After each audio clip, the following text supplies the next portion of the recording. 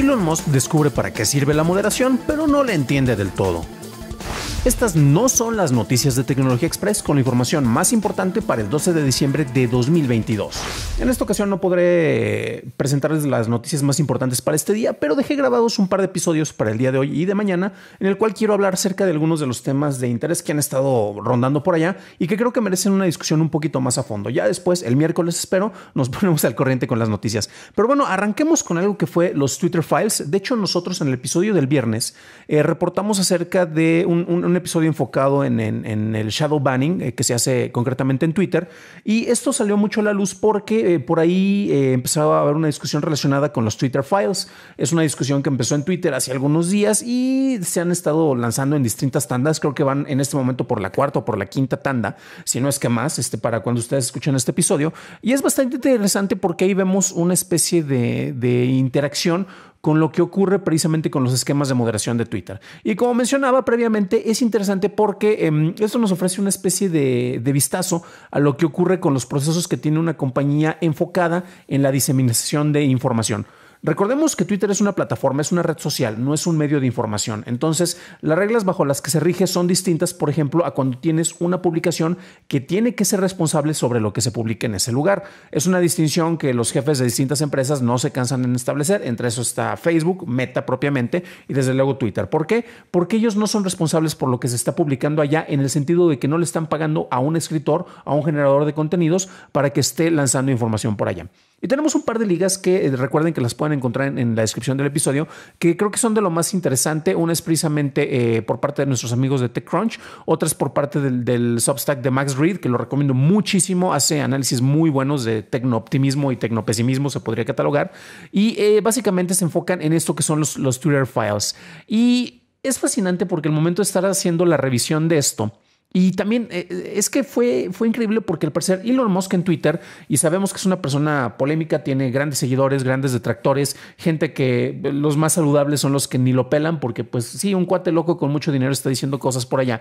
Pero era interesante porque los estaba anunciando como si estuviera revelando la manera en la cual los grandes monopolios de la información pueden controlar todo y vamos a ver porque queremos que tengamos libre expresión. Y en realidad, ¿qué es lo que pasa? Eh, se estaban compartiendo, por ejemplo, algunas capturas de pantalla, eh, donde ves, por ejemplo, una cuenta de Twitter, Lips of TikTok, eh, los liberales de TikTok, una cuenta verificada, por cierto, y vemos cómo en estos paneles tenemos indicaciones como no tomes ninguna acción con este usuario sin el consentimiento de, ahora sí que de tu superior, tiene que pasar por algunos filtros y se, hay algunos tags o etiquetas relacionadas con el contenido que está apareciendo ya. Esto también lo, lo retoma el buen Max, de hecho tenemos más detalles, vemos algunas de las etiquetas, si la cuenta por ejemplo, activa, eh, si ha sido verificada, si ha tenido un alza en, las notificaciones, eh, se debe buscar si está en la lista negra, eh, precisamente para ver que no los banen o para que sí los banen. Oh, Dios santo, qué tipo de contenido pueden mostrar y básicamente cómo se estaba catalogando, ¿no? Y aquí también tenemos en relación con otra persona. ¿Por qué? Porque esto también ha pasado con algunos periodistas. Y uno de los casos que se estaba presentando tiene que ver con, con lo que ocurrió con el hijo del actual presidente Biden y el manejo que se dio sobre, mm, sobre el contenido de su laptop.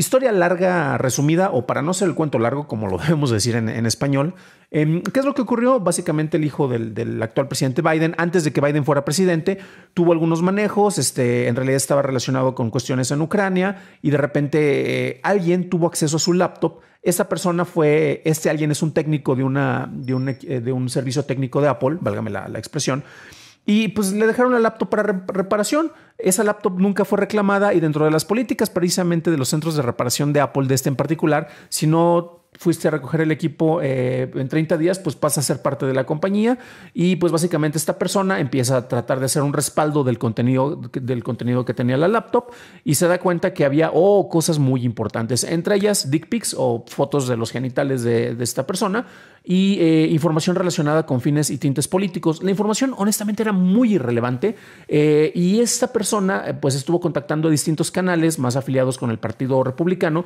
para tratar de desprestigiar a esta figura.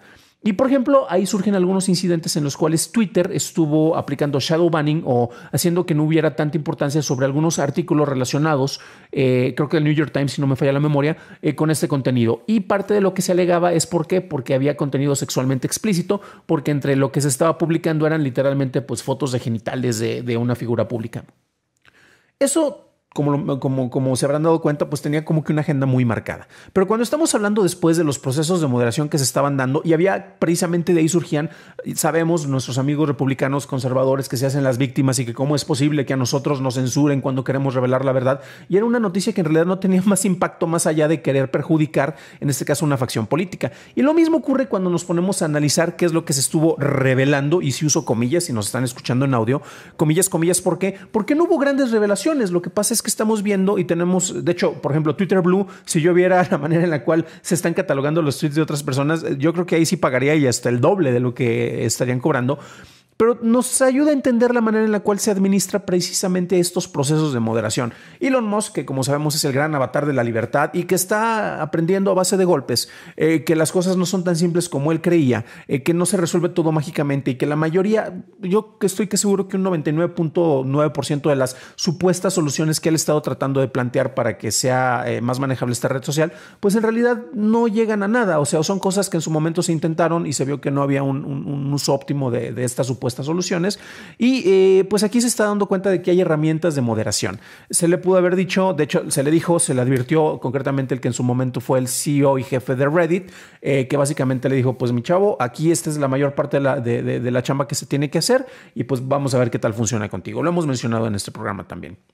Eh, básicamente, ¿qué es lo que ocurre con los Twitter Files? Honestamente, nada, no tiene mayor relevancia. Eh, hay quienes podrían decir, oh, claro, finalmente vamos a conocer la manera en la cual se está censurando la libertad de expresión y te pones a analizar qué es lo que está ocurriendo y en realidad no hay mucho trasfondo. Tal vez para uno que se dedica como medio de información a tratar de entender qué es lo que está ocurriendo en estos lados, pues tampoco nos traen grandes, eh, ¿cómo decirlo?, grandes respuestas, grandes resoluciones, porque son procesos que uno hasta por lógica puede entender que tienen que estarse estableciendo, ¿no? Entonces, eh, básicamente, si empiezan a ver que se le llegó a dar más eh, prioridad a esto, el único impacto real que tiene es que Elon Musk se dio cuenta que después de su llegada y después de que empezó a hacer con ensayo y error distintas propuestas para las modificaciones de políticas de Twitter, como las famosas palomitas que ya ahorita tenemos tres por lo menos, eh, pues resulta que él estaba reportando de que tenemos más actividad en Twitter y se da cuenta de que cuando lanza estos sneak peeks, estas este, supuestas revelaciones, asciende el número de, de usuarios dentro de Twitter y hay más interacción y actividad.